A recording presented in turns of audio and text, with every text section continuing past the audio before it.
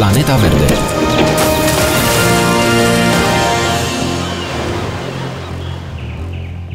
Bună ziua, bun găsit, mulțumesc că ne ascultați. Este ora 13 și 30 de minute. Eu sunt Cosmin Ruscior, sunteți la emisiunea Planeta Verde la RFI.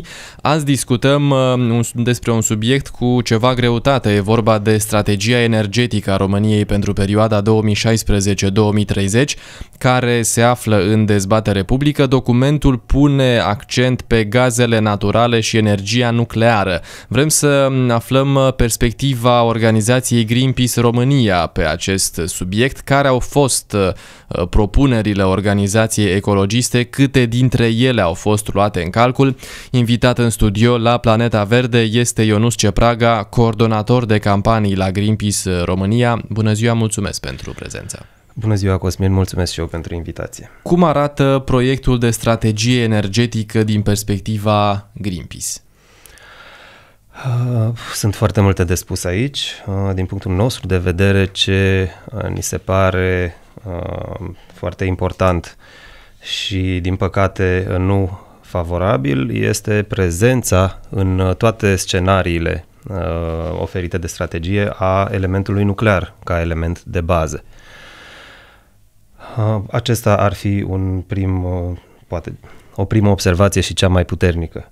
Altminteri, uh, documentul în sine este unul uh, destul de bun, cu, uh, cu alte semne de întrebare, evident. Nu este un, o strategie, un document ideal, dar comparat cu cel din, cu strategia din 2007, se vede clar o evoluție și nu avem cum să nu Uh, admitem lucrul ăsta.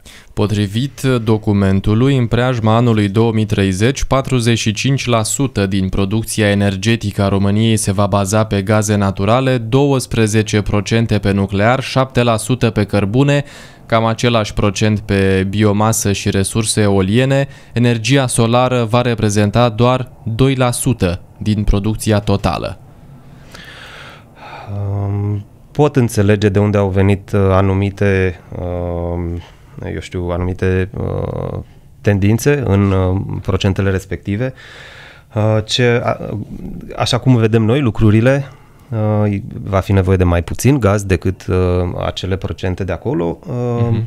Aceasta fiind că foarte probabil nu va fi nevoie de o capacitate fantastic de mare pentru echilibrare um, pentru că acolo intervine gazul. Gazul oferă un uh, factor de uh, flexibilitate foarte bun și atunci gazul poate fi pornit sau oprit în funcție de uh, nevoile, de cererea din sistem.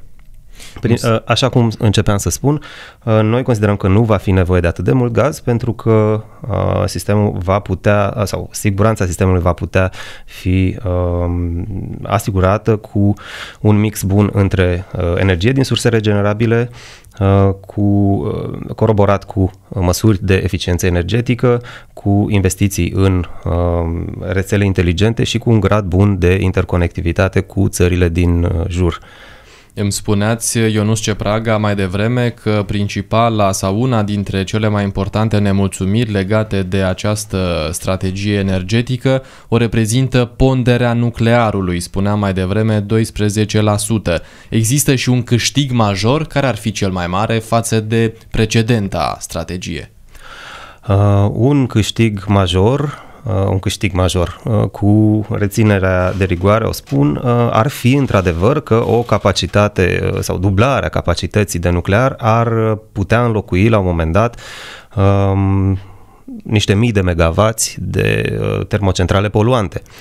Însă nu, Greenpeace nu este de acord cu soluția aceasta pentru că, um, așa cum am spus-o de zeci de ani deja, nu suntem de acord cu riscurile asociate tehnologiilor nucleare și considerăm că înlocuirea acelor mii de megavați uh, poluanți în viitor se va putea face prin măsurile pe care le numeram mai devreme.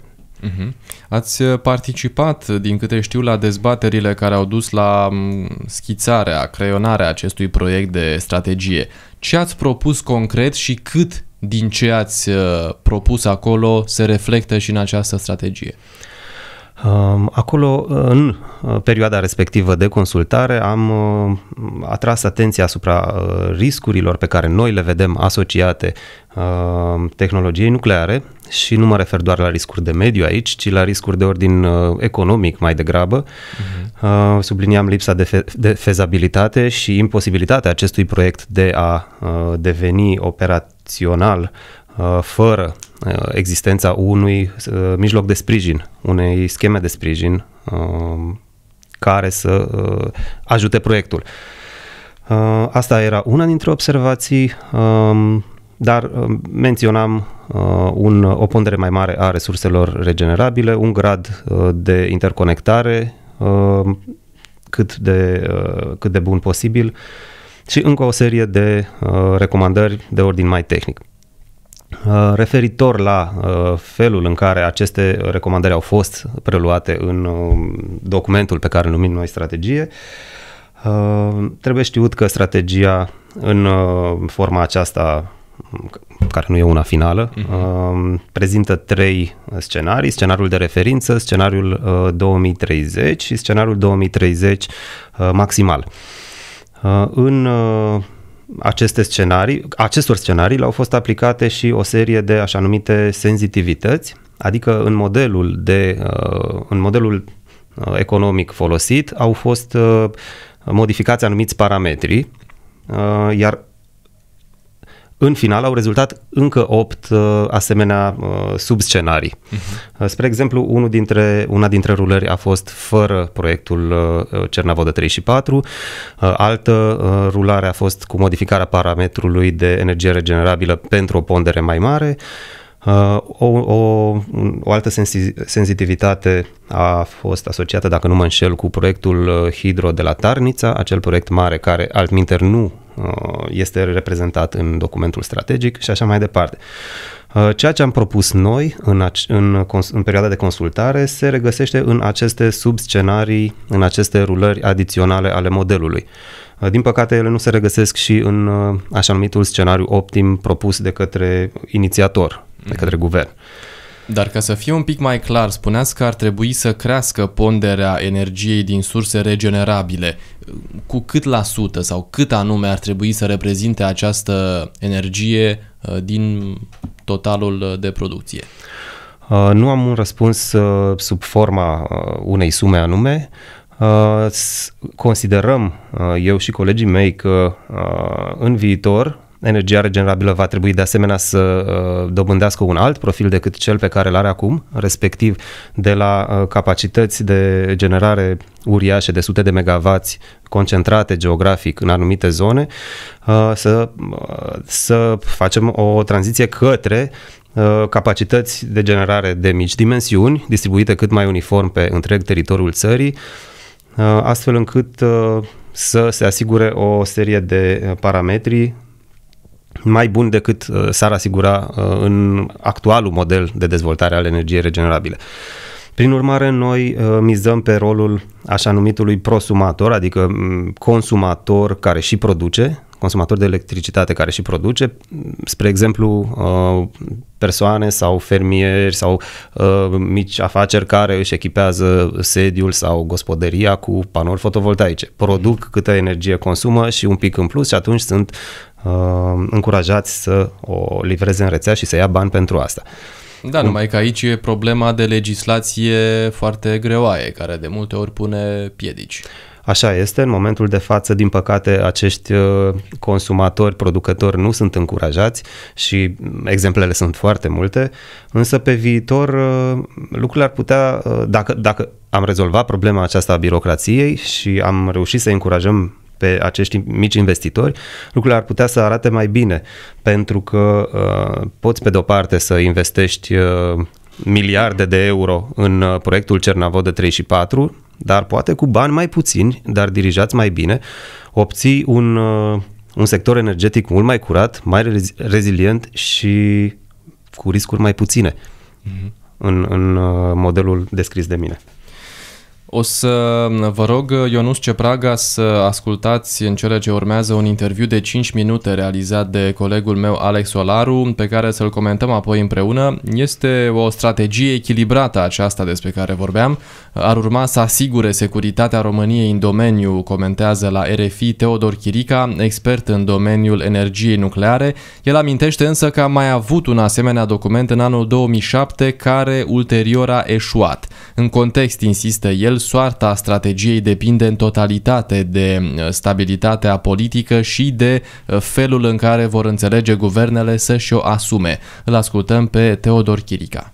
Mixul energetic care propune strategie este un mix echilibrat și este un mix energetic de perspectivă. Sunt două elemente care ar, în ghilimele, favoriza nuclearul retragerea unor capacități semnificative uzate tehnic și economic, în special în zona cărbunelui, și creșterea consumului ai nevoie și de aceste unități, fără a perturba mixul energetic existent. Sunt contemplate și celelalte surse. România face parte din țările care nu va renunța la, la cărbune, dar sigur nu în ponderea de astăzi. Sunt încă uh, posibilități pentru noi centrale hidro, dar investițiile în hidro sunt uh, mai scumpe decât uh, în, orice, în, în orice proiect. Megavatul instalat este cea mai scumpă uh, investiție. La cum uh, percepeți acum această strategie? Este capabilă să asigure securitatea energetică despre care se vorbește atât de mult și la nivel european? Securitate e, e o discuție, chiar între noi, între specialiști, o discuție între independența energetică și securitatea energetică. Independența energetică este văzută ca ceva în care practic îți faci totul singur, nu e posibil. Deci o să avem interconectările, o să avem legăturile cu statele din jur și în viitor o rețea europeană europeană în care va facilita schimburile.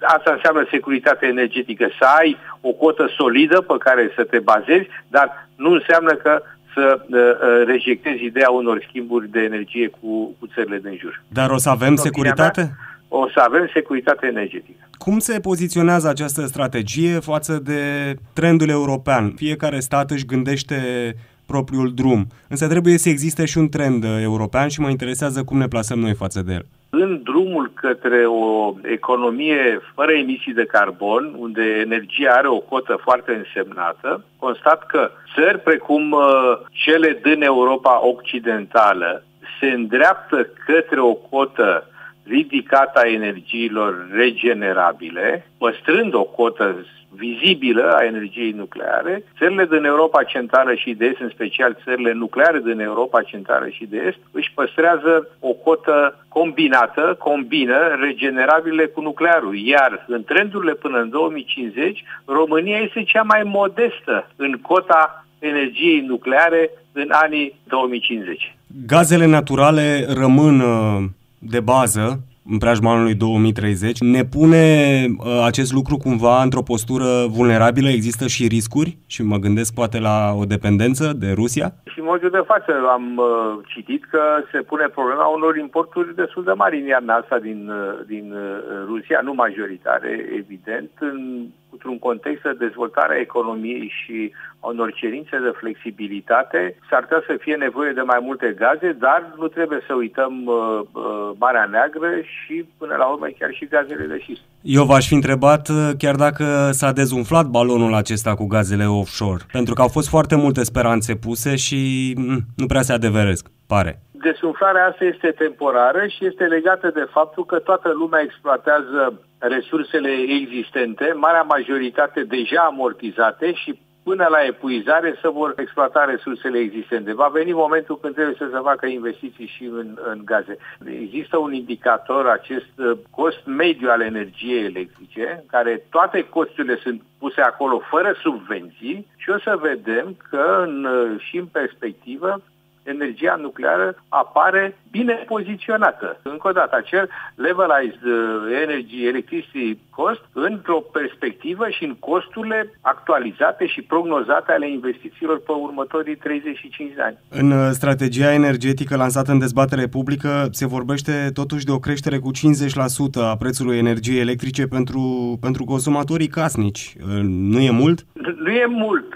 Deci avem două perspective. Ținem prețurile astea cât putem și apoi ușor, ușor, ușor, ușor ies capacități de funcțiune și devenim importatori net. Nici Europa nu are un parc nou de uh, unități de producție. Este corectă această estimare. Pe de altă parte, specialiștii Ministerului uh, vorbesc de investiții de cel puțin 1,5 miliarde de euro pe an. Suma nu este mare. Sunt adunate din toate domeniile, că acolo nu sunt numai investițiile nucleare. Toate investițiile de care este nevoie și mi se pare ilogică această, această cifră. Strategia e bine structurată. A fost un efort uh, foarte mare și s-a făcut într-un timp relativ uh, scurt. Direcțiile pe care le dă această strategie uh, sunt uh, reale, realiste și fezabile. Acum să vedem ce guvern o să vină, în ce măsură guvernul o să stea încă 2 ani de zile să analizeze strategia asta și să-și o însușească sau nu. Băi, eu pun un scenariu pesimist. Și după aia mai vine și vreo moțiune de cenzură și cade guvernul ăla și vine alt guvern și uite așa, că dacă eu de când am revenit în sectorul de stat în 2000, fac 2 ani, de 3 ani de când am revenit, s-au schimbat patru miniștri la energie. Dacă se continuă cu, în, în această instabilitate politică și această strategie energetică nu este preluată și însușită de, de, de toată lumea, efortul va fi inutil. Teodor Chirica, expert în domeniul energiei nucleare, intervievat de colegul meu Alex Solaru, să amintim pe scurt, potrivit proiectului de strategie energetică, pentru perioada 2016-2030, în preajma anului 2030, 45% din producția energetică a României se va baza pe gaze naturale, 12% pe nuclear, 7% pe cărbune, cam același procent pe biomasă și eolian, energia solară doar 2% din producția totală. O strategie bine structurată, realistă, fezabilă, spunea domnul Teodor Chirica. Cum uh, vi se par argumentele dânsului? Un mix echilibrat, ca să-l citez. Ideea în sine de mix echilibrat uh, poate suna uh, una foarte bună, însă trebuie văzut ce punem în acel mix ca să rămână și echilibrat și să ne și avantajeze din mai multe motive, nu doar economic. Um, chiar în documentul strategiei Uh, apare menționat faptul că um, implementarea proiectului Cernavodă 3 și 4, a celor două reactoare adiționale, um, cel mai probabil va afecta, um, va perturba uh, activitatea celorlalte surse de energie, adică a gazului și a cărbunelui. Pentru că uh, cererea trebuie să fie uh, în, uh, în acord cu oferta, ca în orice piață, uh-huh. ori dacă tu uh, dublezi uh, cantitatea de nuclear, spațiul ăla pe care te-ai întins cu uh, cei 1400 de megawatts, trebuie luați de, unde, de undeva. Cineva trebuie să plece din, uh, din piață fix cu cantitatea aia. Cine pleacă? Cei care au prețurile mai mari, cărbune și gaz. Deci uh, vor fi niște uh, perturba, perturbații în, în direcția aceasta. Un alt comentariu, um, vine gândindu-mă la cele trei obiective principale ale strategiei, uh, securitatea energetică, um, asigurarea unei piețe competitive și energie curată. Um, vis-a-vis de securitatea energetică, am câteva semne de, de întrebare în privința nuclearului, pentru că uh, celebrul ciclu nuclear complet al României um, tinde, iată, să devină o legendă de la o lună la alta. Am văzut că am, în momentul acesta importăm combustibil nuclear, pentru că uh, mineritul de uraniu de la noi este pe butuci. Uh, fabrica de apă grea, dacă nu mă înșel, uh, are o soartă similară și așa mai departe. Deci pe partea de securitate energetică am niște semne de întrebare, însă mai grav mi se pare ce se întâmplă la celelalte, raportat la celelalte obiective piață competitivă. Cum spuneam, nu putem vorbi de reactoarele 3 și 4 în absența unei scheme de sprijin care să, asigur, să, le, să asigure proiectului uh, un minim de fezabilitate. Mm-hmm. Ori aici deja uh, contravii uh, idei în sine de, competi- de competiție într-o piață. Și, din nou, nu sunt de acord cu uh, includerea energiei nucleare la energie curată. Aici, din considerate strict de mediu și de sănătate, uh, știm cu toții, radioactivitatea are uh, o serie de riscuri deloc de neglijat, iar problema uh, depozitării permanente a combustibilului ars încă nu a fost rezolvată nicăieri pe glob. Nu există încă o soluție. Prin urmare, nu sunt de acord cu faptul că energia nucleară trebuie să fie pilonul de bază al viitoarei strategii energetice. Aș vrea să vă întreb dacă credeți uh, că unitățile 3 și 4 de la Cernavodă vor fi puse până la urmă în funcțiune. Mi-ați răspuns parțial un pic mai devreme la, la această întrebare. Uh, este de văzut dacă uh, Comisia Europeană va aproba o schemă de sprijin pentru proiectul Cernavodă 3 și 4. Este de văzut dacă mm, partenerii chinezi vor fi dispuși acum în decembrie să semneze uh, eu știu, demararea proiectului, pentru că și acesta am înțeles că este, uh, era stabilit drept de, deadline uh-huh. pentru uh, finalul anului. Sunt în continuare mai multe mai multe semne de întrebare legate de, de devenirea, de intrarea în realitate a acestui proiect. Iar cu toate aceste semne de întrebare să, să-l faci pilon principal în strategia energetică este uh, cel puțin riscant din punctul nostru de vedere. Elveția a organizat uh, chiar în acest weekend un referendum privind energia nucleară. Cât de departe este România de un asemenea demers? Um, presupun că este destul de departe. La elvețieni măcar s-a pus problema. Exact. Uh, referendumul, din câte am înțeles, dar fără să văd ceva oficial, referendumul a înclinat în favoarea energiei nucleare. Totuși, uh, s-a ajuns până acolo încât uh, publicul să uh, fie rugat să vină cu o părere. Uh-huh. Și nu sunt singurii. Germania are un plan pentru eliminarea nuclearului din mixul energetic și um, mai sunt și alte țări care pot fi date exemplu. Suntem, într-adevăr, foarte departe de această condiție. Greenpeace ce mai poate face acum în condițiile în care strategia energetică 2016-2030 se află în dezbatere publică?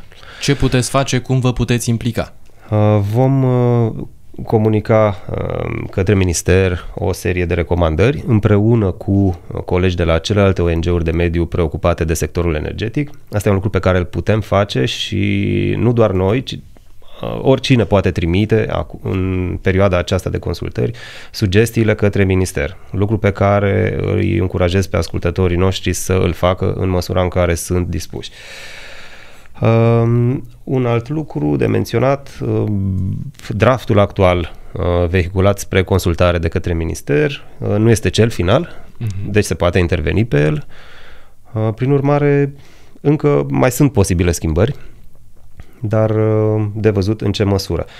Un lucru pe care eu îl consider important, așa cum spunea și domnul Chirică, este uh, importantă nu doar forma strategiei, ci și consensul politic uh, asupra acesteia, pentru că degeaba faci o strategie care să nu fie ulterior recunoscută de guvernele ce urmează.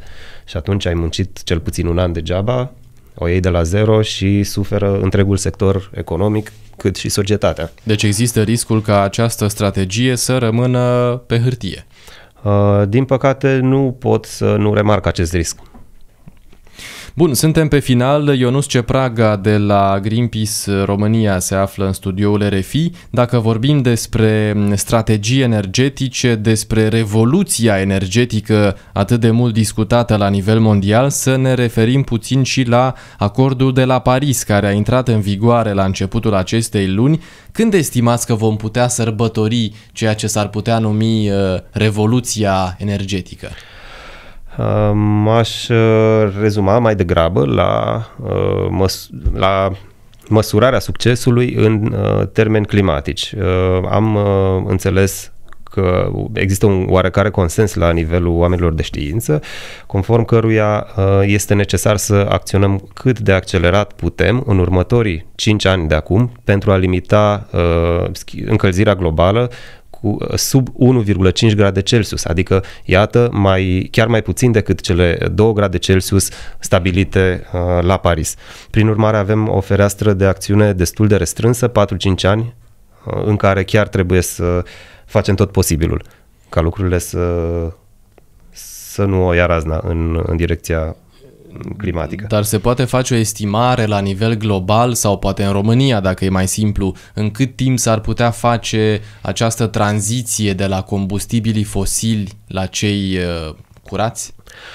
Am uh, publicat chiar noi la Greenpeace România un raport cei drept în 2012 spre final, prin care arătam că până în 2050 România, cu tehnologia uh, existentă la acel moment, uh, și-ar putea uh, asigura circa 84% din energie din surse regenerabile, în condiții de fezabilitate economică.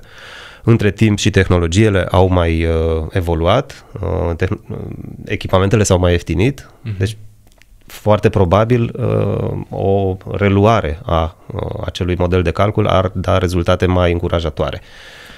Bun, și ce, te, ce, ce faci cu, sau ce viitor vor avea acele zone monoindustriale, cum e județul Gorj, de exemplu, care, sau unde economia e construită în jurul uh, lignitului? Este într-adevăr o temă în sine. Noi o numim tranziție justă, Adică este important nu doar ca în uh, respectivele regiuni PIB-ul să fie înlocuit, uh, adică PIB-ul uh, să nu mai fie asigurat de cărbune, ci de alte afaceri, ci mhm. felul în care beneficiile se vor distribui și la nivelul cetățeanului de rând, la nivelul lucrătorului. Um, este un, un fenomen care ușor, ușor prinde amploare peste tot, nu doar în Europa, dar și în lume. Uh, respectiv înlocuirea actualelor activități uh, economice din zonele monoindustriale într-un termen cât de scurt posibil, cu activități economice în măsură să preia aceste funcții de angajator și de, uh, asigur, și de aducător de venituri în zonă. Adică, mai exact? Încurajarea de noi sectoare economice Turism, în Gorj, spre exemplu, depinde de ce se potrivește mai bine pentru zona respectivă. Poate să fie agricultură, poate să fie turism, um, așa mai departe. Evident, uh, cu cât mai durabile din punct de vedere al mediului, cu atât mai bine. Mulțumesc mult pentru prezență. Și eu vă mulțumesc frumos pentru invitație. Ionus Cepraga, coordonator de campanii la Greenpeace România, am discutat despre strategia, proiectul de strategie energetică a României pentru perioada 2016-2030. Documentul se află în dezbatere publică. Uh, să amintim pe scurt că acest text pune accent pe gazele naturale și energia nucleară. Eu sunt Cosmin Ruscior, vă dau reîntâlnire la o nouă ediție a emisiunii Planeta Verde lunea viitoare la ora 13 și 30 de minute. Până atunci, numai bine! Planeta Verde